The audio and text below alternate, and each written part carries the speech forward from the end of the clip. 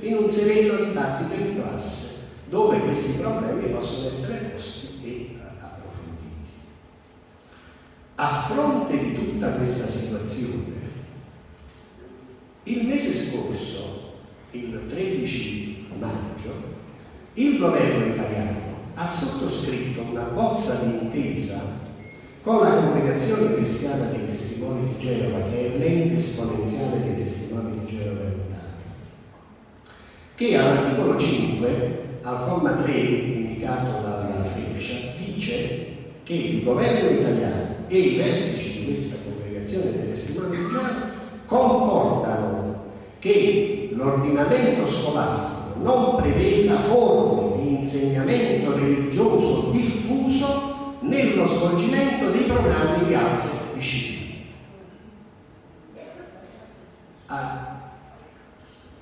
Sulla base di ciò che abbiamo già detto e di ciò che ascolterete dopo di me,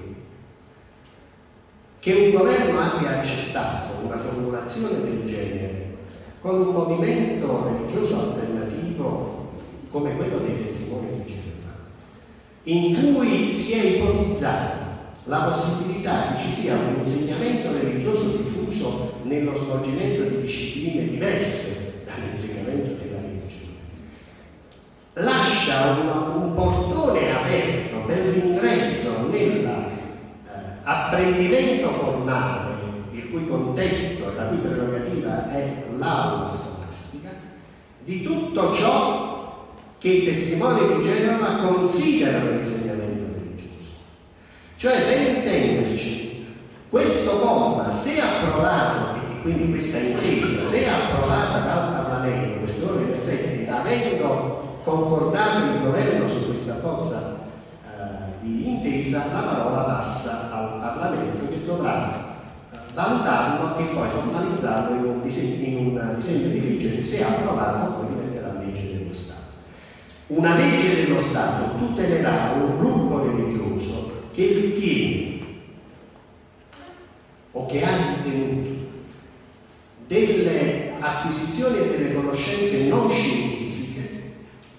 di tale importanza da doverne tener conto nel contesto scolastico perché? Perché questa denominazione religiosa considera insegnamento religioso diffuso in altre discipline, per esempio nel caso dell'evoluzione, l'affermazione di una cronologia e di un processo evolutivo che non è in linea con ciò che Cioè potrà essere invocato dal ministro dei testimoni di Genova un'eccezione di insegnamento religioso diffuso per ogni tipo di posizione culturalmente arretrata che si hanno in contesti che non hanno a che fare con la religione, quindi la storia, la scienza, gli esperti è decisamente pericoloso. E devo dire denota una da parte di chi ha svolto la fase istruttoria che ha portato alla sottoscrizione di questa bozza. Sarebbe stato molto meglio seguire il, il suggerimento di un insigne giurista cattolico, il rettore Dalla Torre, dalla, dalla torre dell'Università Pubblica di Roma, il quale ha scritto prima di arrivare ad un'intesa lo Stato dovrebbe valutare con maggiore attenzione, con prudenza e discernimento, il che non significa negare una libertà che è garantita a tutti. Evidentemente si nega in questo caso un regime di particolare favore, cosa che è ben diversa dall'esercizio della libertà religiosa. Dire che non è opportuna la sottoscrizione di questa bozza non significa negare ai testimoni di Geova il diritto all'esercizio della libertà religiosa, sono due cose completamente. Significa non volere che un, una religiosità alternativa così arretrata sul piano culturale abbia una forma di tutela particolarmente elevata che può mettere in difficoltà l'ordinamento scolastico a causa di, sottile, di questo sottile distinguo di prevenire forme di insegnamento religioso diffuso nello svolgimento dei programmi in altre vedete, questi gruppi di religiosità alternativa sono molto, molto bravi nel presentare un effetto di facciata accattivante che nasconde proprio la dissimulazione di una ideologia che molto spesso presenta elementi di allarme sociale. Può accadere che in una scuola un gruppo o gruppi del potenziale umano si presentino, per esempio, per promuovere l'arricchimento o la, la crescita dell'autostima degli allievi e propongano a presidi, docenti, eh, di offrirsi per tenere dei seminari brevi, anche la presenza ovviamente degli insegnanti, per presentare appunto delle tecniche, delle metodiche che uh, migliorano l'autostima degli allievi. Ma siete sicuri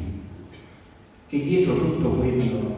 questa proposta di facciata non si celi qualcosa che se correttamente inquadrato possa invece che migliorare e agevolare gli alunni danneggiati. Uh, io spesso adopero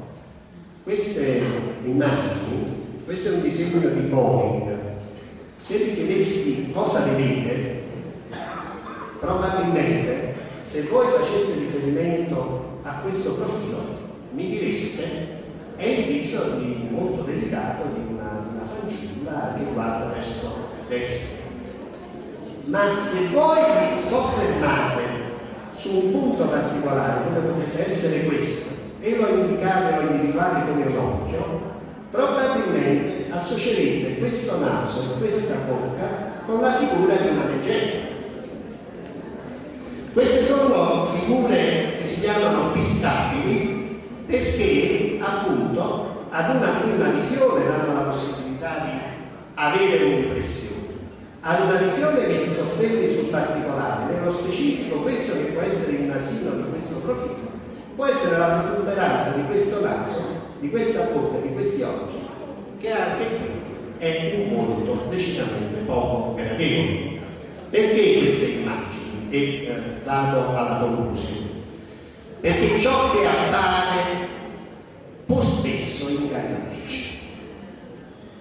Nessun sostenitore di una religiosità alternativa verrà a dirvi subito ciò che crede o ciò che pensa della scuola, dei programmi, di certe acquisizioni della cultura contemporanea. Probabilmente presenterà un'immagine di sé accattivante per garantirsi la disponibilità e la buona fede da parte degli operatori scolastici, per poi agire a vostra insaputa su percorsi che voi neanche conoscete. Quindi questo è un invito alla cautela e alla particolare attenzione che è indispensabile se il nostro, per così dire, materiale di lavoro sono i giovani che costituiranno la società del domani. Grazie.